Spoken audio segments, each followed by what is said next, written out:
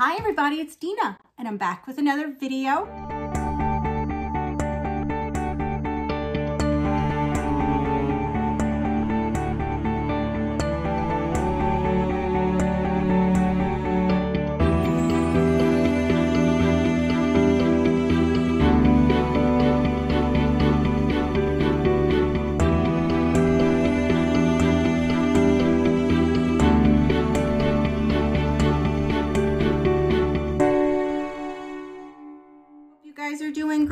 Today. Um, today's video I'm kind of excited about. I finished my Lizzie blanket. That was from the Ophelia Talks Crochet Along. It was not a recent crochet along, but you can join it anytime. I am a huge fan of Ophelia Talks. I will link her channel down below um, and I will link her blog post, like her page, her website down below. She is affiliated with Lovecrafts Yarn and she makes like that right there and that right there. Those are her like color packs and she just does amazing job with color.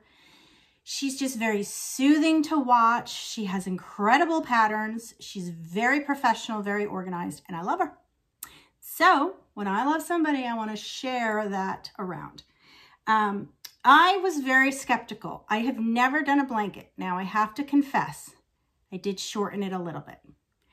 And I knew I was not going to make it as big because I just found it for my couch in my living room. And it, if I did every single row, it would have been too cumbersome. So, you know, and, and I, I, just don't know if I, I, I guess I would have been able to complete it because the way she did this crochet along, every week, and I didn't do it every week, but she would, she, every week was um, a different five row repeat. And each row is a different stitch. And every time you change rows, it's a different color. Um, and you do six of those five row repeats. So each week would be 30 rows. I did that in the beginning and then I saw how big it was going to be. So then I shortened it and I did like half. I think I did 15 rows or, uh, yeah, I think so. Maybe, maybe 20. But anyway, um, but I followed the color sequence and everything. And then if I noticed like I wasn't using a color because I wasn't going all the way down, then I would pull the colors from the other. And I think it worked out great. Now, um, the, the thing that had me the most concerned was the double border. It's a double border that you sandwich all the ends in.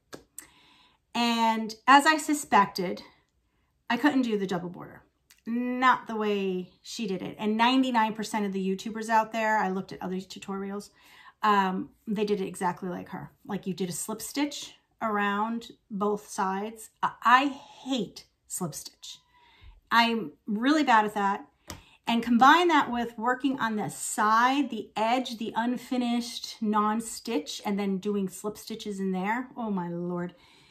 I must have ripped it out four or five times. And by that time, like, there's got to be another way, right? There's always more than one way to do something.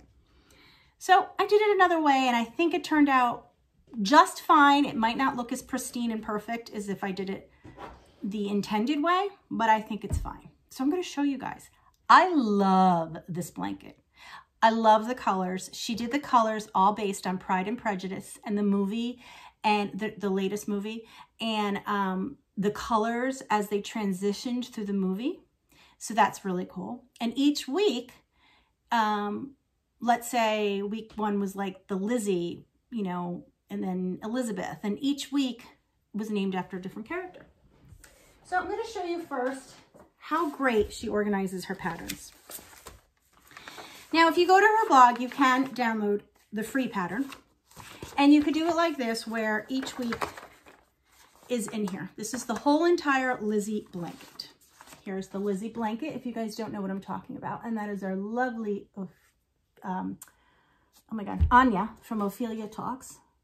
And I just think Anya is, like I said, she's just, she's remarkable. Um, and she used, of course, the, um, the Lizzie color pack. So you can pick your own. She, this is the DK yarn from Lovecrafts. Um, or you just go with her pack, which is what I did because her colors match my living room perfectly. And I love the way she picks colors. And then each week, well, in the beginning, and look at her patterns, how pretty. She puts all these little details. They're just so pretty. Um, and, and it's very, very organized. She does the list of the colors here. Um, each week, so week one, it says, week one, Jane. And she describes if there's any like things you need to know. And then the very simple pattern, row one, it's called Jane one, row Jane two. And these are the five different rows. And each row is a different stitch. And she has a YouTube tutorial to go along with it. And you make a swatch with, with without the yarn that you're using for the project, you make it. And you do this for all the weeks so you have the swatch with all the ends so you can practice doing the double border. And that's how it is. And then in addition, she gives you this chart each week. And this is the 30 rows. So this is row one, two, three, four, five. And then row six is really, you know, repeating that row one, two, three, four. And then it tells you the row, the pattern, and the color. And then she gives you a hint on what stitch it is. And then you just check it off when you're done. Extremely organized, which makes it very enjoyable. And it's like that through the whole thing. Now, what I did in addition to this, in the beginning, I would pick, I would blow up the chart. Because once you know the rows, by saying Elizabeth 1 double crochet, I knew that was just a double crochet row. And then you see Elizabeth 2 W crochet chain 1. I know how to do that row because I did the tutorial and I know that row. And if I didn't, I just go and then look at the description. It gives you a hint. And I did it like this. And I did do this because I found it hard keeping the ball bands on and I didn't know what color they were. So now I would just look and I knew what color they were. So I did this the first few weeks and I have a few of these. And then I started to get to know the colors and I purchased this lovely caddy and um, this is this is the name off of Amazon and I love this for a project where you have multiple balls. So in the beginning, I had these all in a bag and I would dig through and I would get them out and it just wasn't working. Then I put them in a laundry basket and I still had to dig through. But let me just show you. This worked perfectly because it fit them all that I could see them. And I still kept these nearby just in case I didn't remember the, the colors because these are all very, you know, some of them are similar. Like this I know is khaki. Um, but, you know, so I would just look and go, oh, that's duck egg. Okay if I needed to. But then I just started using, I didn't print the separate thing. I just started using this that I had already printed and checking it off. So by the time I got to row 91, I did, um, yeah, I did 15 rows. I didn't do all the 30 and I stopped. And that's when I just started to shorten it a little. And then this, when I got to row 121, I did 20 rows. So I, I really didn't shorten it that much, but I did.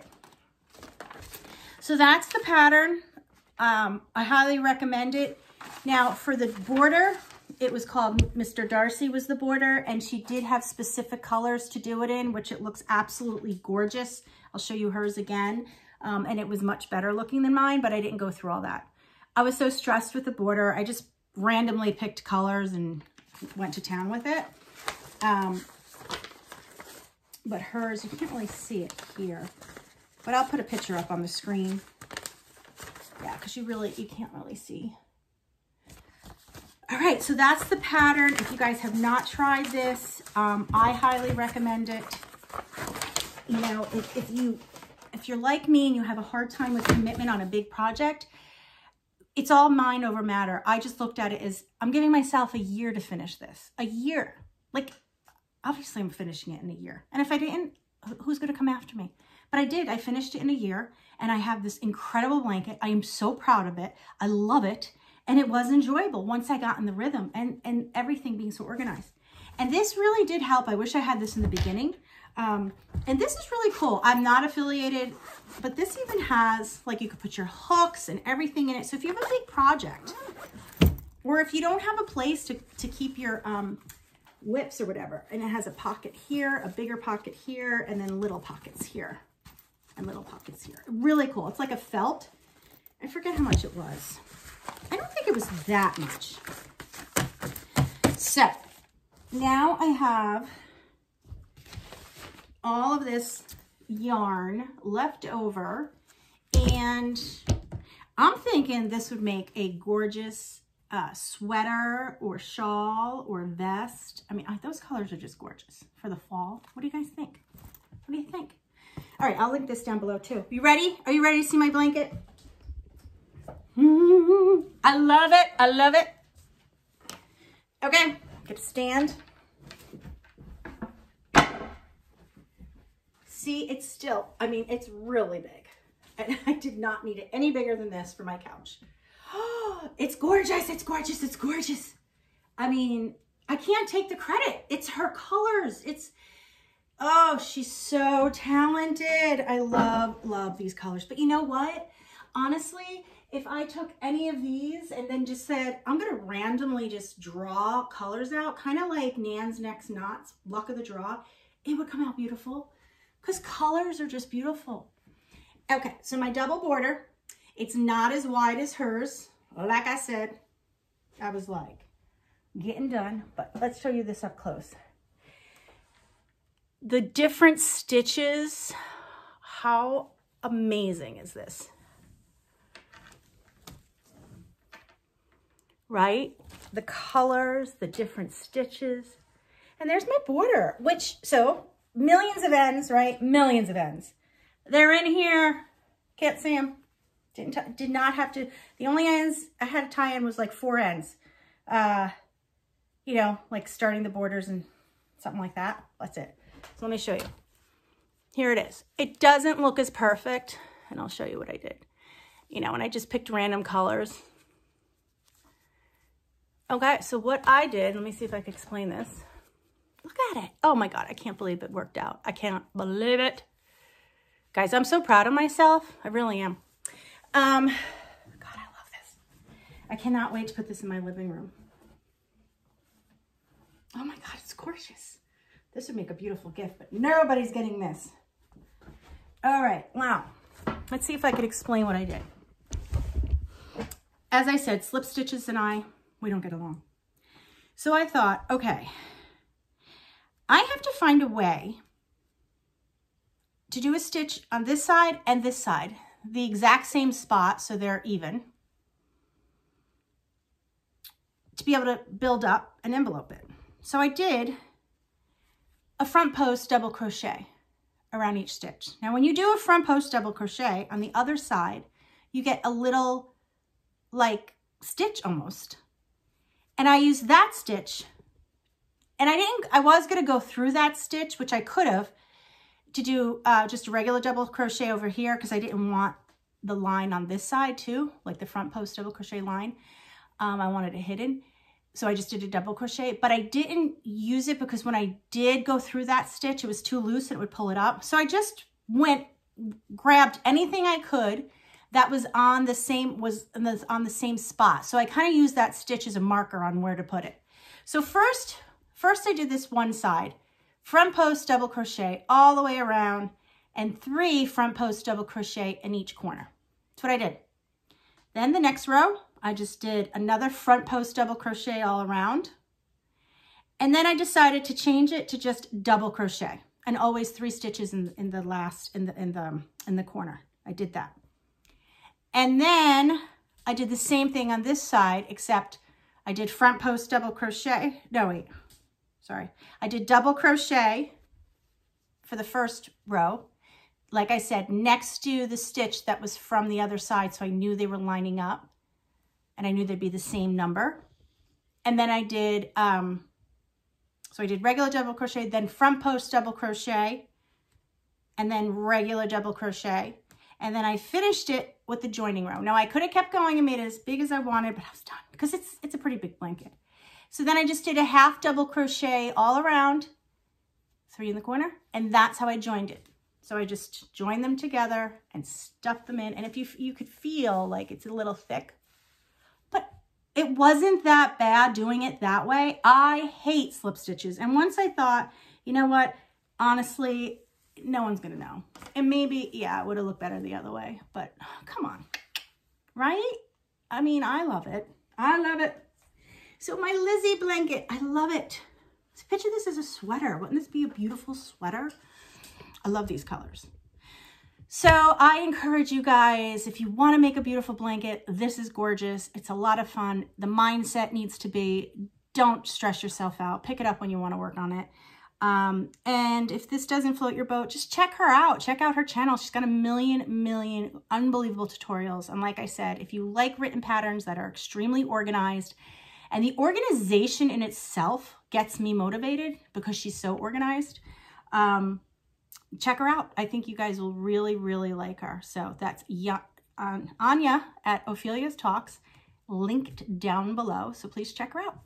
So in the winter, the fall, you guys, I'm going to film when I'm in my living room, cuddled up on the couch with the fire going in my Lizzie blanket. And everybody in this family has to know this is just my blanket because my boys will destroy it.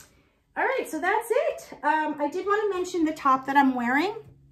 This is that, um, hmm,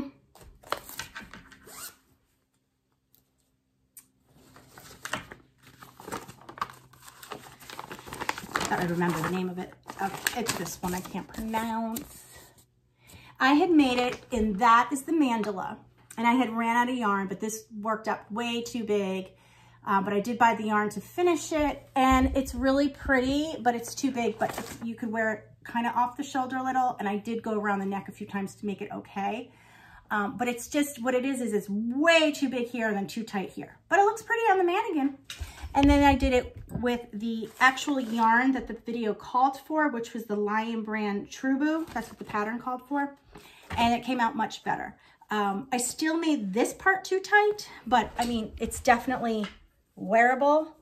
I love this look and this is super, super soft. Love the yarn. So if you were to make this, um, I had more success using the yarn that it called for, but I don't think that's necessary. I just think, uh, you know, even though that's mandala number three, um, it, it, acrylic, I think, is the problem. So I wouldn't use acrylic update you on this. This was a huge fail. Um, this was the, the, this dress that I made from Bag O' Day, and I turned it into a baby doll top, but I used acrylic um, yarn, two strands together, because it was a size two or three, but I shouldn't have done that, and it came out too thick, but I wanted to finish it anyway.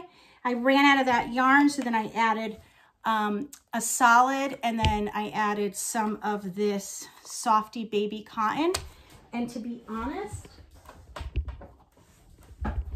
um, if I did the whole thing in the Softee Baby Cotton, I think it would have came out really pretty. So here's the Softee Baby Cotton. Perfect drape. This had good drape, but I held two together, and then this was just where it's too thick. But, I mean, it's cute. I'll put it on. I'll show you, but it's it's really you know, this is, doesn't on. This is just too thick. But, I mean, the pattern's gorgeous, and it's super easy to turn this into a baby doll. So I'll link that pattern down below. That's the baby dress I did for one of my crochet, my Bag O' Day patterns of the week. And um, Sarah Hayes, she's on my Facebook. Hi, Sarah. She did an unbelievable baby doll in it. Um, and so check out my Facebook because you can see her picture. Actually, I'll put it up here. I'll find it and put it up here so you guys can see it because it's gorgeous. She is so talented. Um, so it was the yarn choice. Other than the yarn choice, super easy to take that dress and turn it into a baby doll for an adult. So you could really do that with any one of her dresses. And she's got so many cute toddler dresses. But you can see it's just too thick, but it's really cute. I mean, I really like the, you know, just the look and the idea of it. I like the flowiness. Um, so picture in a lighter yarn. And I mean, the colors are pretty. It's just a little too thick, but super cute. And I like things that pull away, hide the little poochie poochie. Um, yeah. I mean, down here is really pretty. This is just too thick. But that's how you learn, right? All right, so those are all my up dates real quick. I just wanted to throw these two sweaters in. This was so pretty though. So I'll link all these patterns down below if you guys are interested in any of them. This is really pretty. The only thing is I would, um, I don't have any more of this yarn, but I would stitch up here a little bit um, because I did not need to make this as big as it was called for. Uh, and then that would be fine. But the top is so pretty, really pretty. It's just a matter of increases. This is so soft. All right, guys, I hope you guys are doing great. So enjoy the rest of your week. Okay, guys, see you in my next video. Bye.